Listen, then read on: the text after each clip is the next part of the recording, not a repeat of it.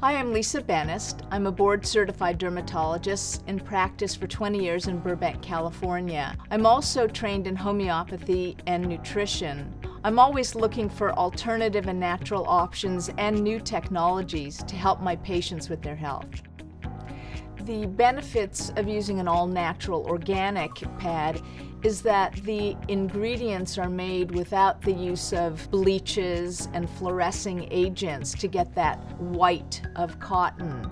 There are broader reaching benefits uh, in terms of organic crops the organic cotton is grown with a lot less water versus the general cotton crop. Also, uh, cotton now is switching to genetically modified crop, and as a result, they use more pesticides. We really don't have an idea how much pesticide may be still present in the cotton that our bodies are being exposed to, but I believe that the organic cotton is really safer for the environment and safer for the body.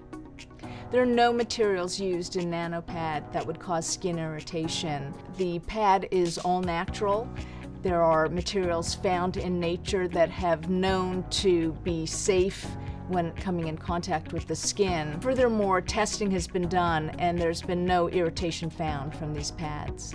I don't believe that the nanoparticles in these NannoPads will cause negative effects to the skin or the body. The particle size in the NannoPads are micron size and they are too large to actually enter the skin cell itself. The other point is that the nanofibers are woven into the pad itself. And with the NannoPad, there's a layer of organic cotton on top of the nanoparticles, and that is what comes in direct contact with the skin. Studies show that far infrared technology like fabric with far infrared can help reduce inflammation, improve oxygenation and microcirculation. For someone to have an alternative option to pain medication when a far infrared fabric might help reduce the inflammation and pain is a wonderful option. It's really nice to see it finally being used in feminine hygiene products. I think this could benefit many women. The pH balance of the materials used is neutral and does not have any adverse effect on the pH balance of the skin.